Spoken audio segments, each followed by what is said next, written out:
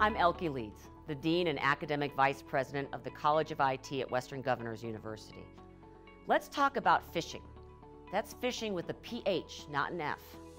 According to phishing.org, phishing is a cybercrime in which targets are contacted by email, phone, or text message by someone posing as a legitimate institution to lure individuals into providing sensitive data, such as personally identifiable information, banking, and credit card details, and passwords. That information is then used to access important accounts and can result in identity theft and financial loss. We care about combating phishing because we want to protect students and employees' information. According to the 2020 Verizon report, industry research shows 96% of attacks to gather login credentials and other personal information were achieved through email phishing attempts. Email links and attachments were the number one vector through which malware was delivered and account for over 60% of attacks.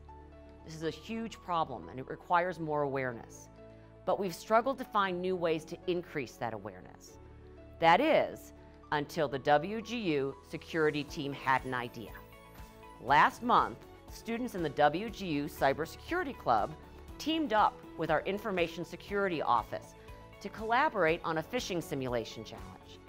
The goal was to design a phishing email which would be sent to WGU employees to help increase our awareness of phishing emails and the ploys used to compromise our information. 47 students formed 10 teams of participants and got to work. They were instructed to only use open source intelligence to gather information, decide which organization they would target and why, and explain what information they would hope to gain if their victims responded to the spear phishing email.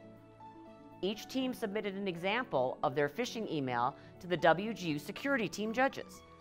And a team comprised of four students from the Cybersecurity and Network Ops Security program called the Bait Snagglers won the competition.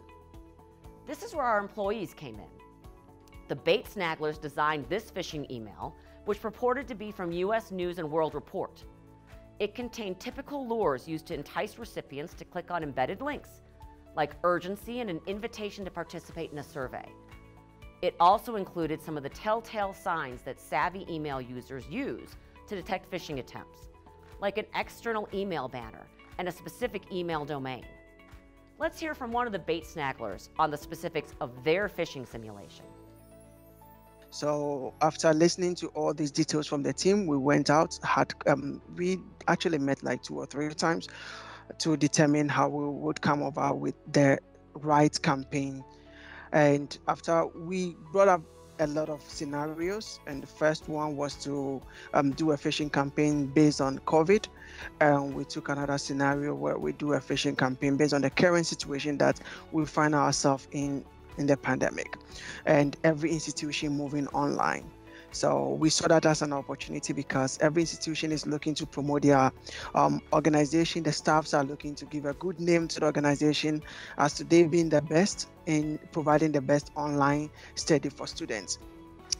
Uh, once we were able to determine that, we settled on using the US News email because we know that US News email sometimes send out surveys for institutions and they do services that is related to um, institutions performance and ranking and we use that scenario to determine that okay this is going to make sense.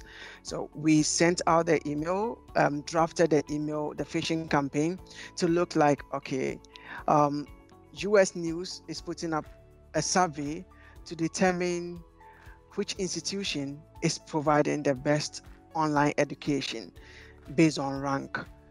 And every everyone every employee will want to rate their institution as the best. And we saw that that contest based on the current scenario fused together to be able to give an exact um, scenario that will get people interested.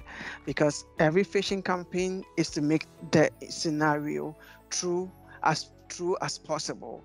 And that was our goal we want to highlight the accomplishments of the bait snagglers, who succeeded in raising phishing awareness at WGU. Thanks to students Jeffrey Martin, Isaac Delgado, Michael Vining, and Mark Appienti for your dedication and hard work. One member of the bait snagglers, Michael Vining, serves as the treasurer in the Cybersecurity Club. The club launched in March of 2020 with the goal of providing a community for all students with an interest in cybersecurity.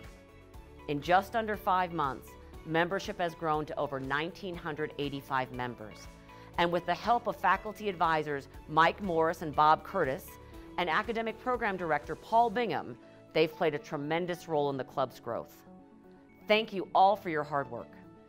In addition to the phishing simulation, the Cyber Club has found success in ongoing competitions like Hack the Box and NICE challenges, where their efforts consistently keep WGU ranked among the top third of participating universities. We're proud of our Cyber Club students and really look forward to seeing what they accomplish next.